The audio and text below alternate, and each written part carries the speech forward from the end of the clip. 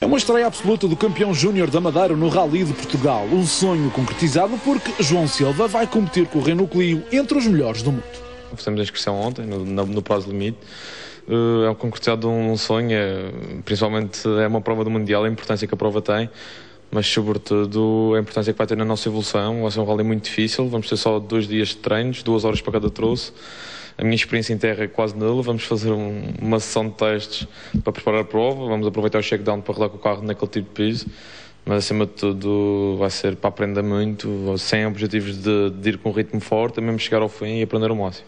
Um rally para ganhar ritmo e, sobretudo, ter outro tipo de condução que os pisos de terra obrigam e levar o nome Madeira.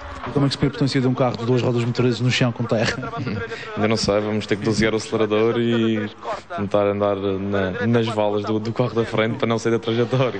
Para já está confirmada a sua participação na Rally de Portugal? Sim, nós queremos fazer mais provas, mas para já só está confirmada esta participação. Ainda estamos à espera de resposta de alguns patrocinadores, um já deram, o que é muito bom. E mais um piloto a fazer promoção da Madeira lá fora? Sim, nós vamos aproveitar também para fazer promoção de algumas marcas da Madeira e da própria Madeira. O carro será o Renault Clio R3 alugado à ERC Sport e o navegador é José Janela, copiloto de Adresulo Lopes.